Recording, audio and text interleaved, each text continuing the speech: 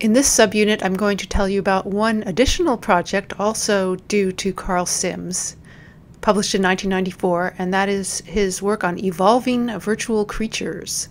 This is a particularly fun and interesting project.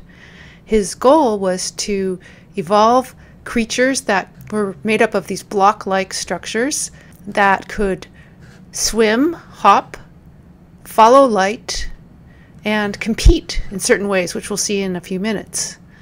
These were all virtual creatures in that they existed inside of a computer simulation of physics.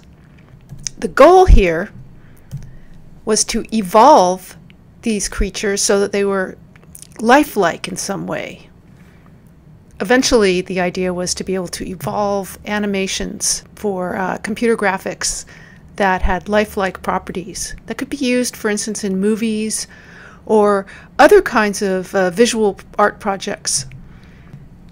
This was a particularly complicated application of the genetic algorithm because what Sims did was write an algorithm to simultaneously evolve both the morphology, that is, the shape of the creatures, and their control systems, that is, their artificial brains or their neural networks.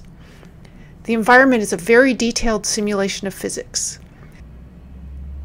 Now before I get into the details of this project, let me show you Karl Sims' own video, which is in the next video link.